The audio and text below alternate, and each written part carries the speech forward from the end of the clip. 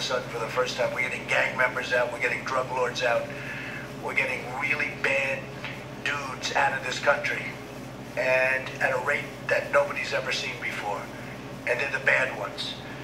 And it's a military operation because you know, what has been allowed to come into our country, when you see gang violence and you've read about like never before, that statement came hours before Homeland Security Secretary John Kelly spoke in Mexico saying there will be no use of military force in immigration.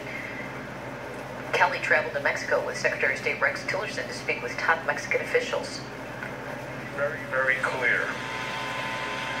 There will be no, repeat, no mass deportations. All deportations will be according to our legal justice system, which is extensive and includes multiple appeals. When asked about the disagreement between the President and Homeland Security Secretary's statements, Press Secretary Sean Spicer said the President had not been speaking literally. He said Trump used the phrase military operation as an adjective to describe the precision in immigration enforcement. Fatal drug overdoses have skyrocketed in the U.S. According to the Centers for Disease Control and Prevention, the rate has more than doubled since 1999.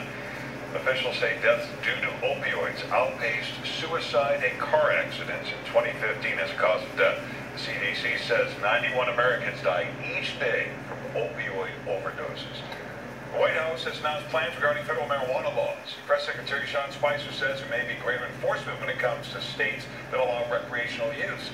This is a reversal from the Obama administration's stance, which wouldn't interfere in states where recreational use of marijuana is allowed, like Colorado and Washington marijuana industry is expected to create more than a quarter million jobs by 2020. A new lawsuit is charging Uber with using stolen Google laser technology in its self-driving car business. Waymo, a Google self-driving car company, claims a former employee downloaded nearly 10 gigabytes of confidential files and trade secrets. The former employee then founded Otto, a competitor run by Uber.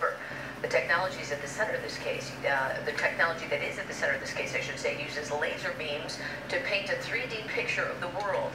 The lawsuit claims the sensors can detect hazards that human drivers would miss. Are they moving while I'm